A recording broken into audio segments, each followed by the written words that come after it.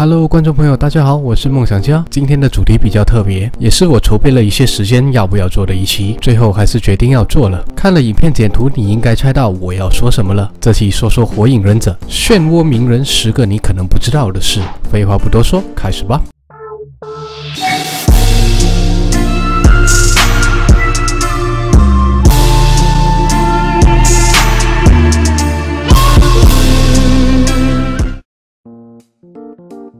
火影忍者故事开始于木叶村一个顽皮爱捣蛋的小鬼漩涡鸣人。当时鸣人十二岁，一百四十五公分，四十公斤。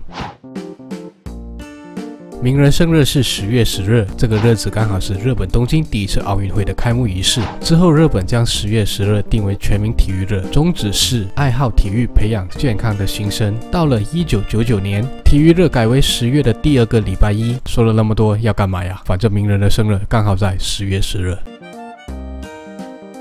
鸣人的名字由来你知道吗？自来也有两本著作，一本是《清热天堂》，一本是《根性人传》。鸣人这个名字是自来也《根性人传》的主角。第四代火影水门在看过这本书后，被主角不放弃的精神所感动，所以决定用鸣人这个名字来命名自己的儿子的名字。当然，这是岸本漫画中的说法，具体的名字由来还是要跟现实世界产生一定的联系。Naruto 有两种意思，首先，Naruto 是日本拉面放在上面的一种常见装饰型食品，名门。卷 Naruto 还是日本一座城市的名字，该城市因为有座名门大桥而成为著名的观光点。据说从该桥上看水面的巨大漩涡非常过瘾。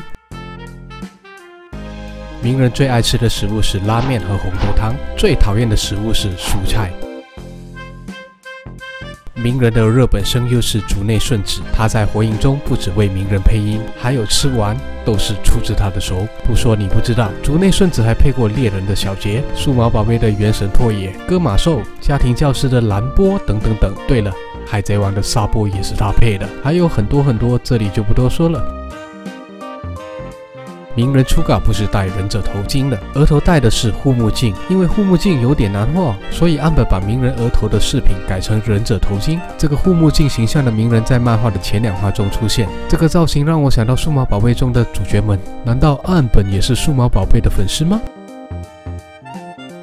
木叶忍者村有一家鸣人很爱去的拉面店——一乐拉面。这家拉面店不是岸本空想出来的，而是真实存在的。岸本学生时代就读于日本福冈县福冈市九州产业大学。大学时代的岸本经常去一家叫做一乐拉面的拉面馆，这就是《火影忍者》里的一乐拉面的原型。可惜的是，这家拉面店已经在二零一四年结束营业了。现在想品尝木叶忍者村的拉面味道，只能到福冈机场附近的另一间一乐拉面分店了。一碗味噌叉烧拉面要八百五十。日币，说着说着，肚子都饿了。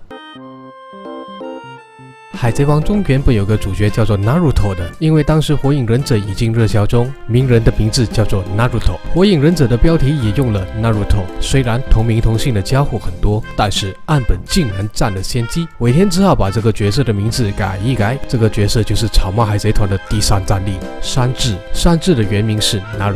《火影忍者》是一部广受世界欢迎的少年漫画。目前，《火影》已经销售了两亿两千万册，而销量在《火影》之上的有《龙珠》两亿四千万册，《海贼王》四亿一千万册。必须说明的一点，这数据并不包括《火影博人传》和《龙珠超》的数据。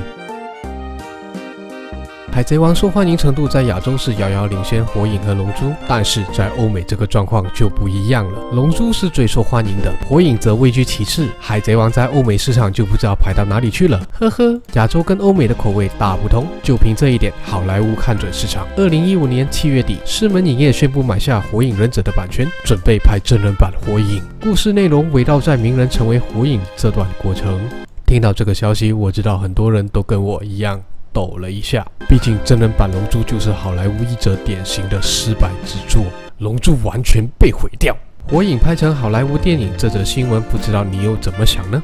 名人该不该由美国人来演？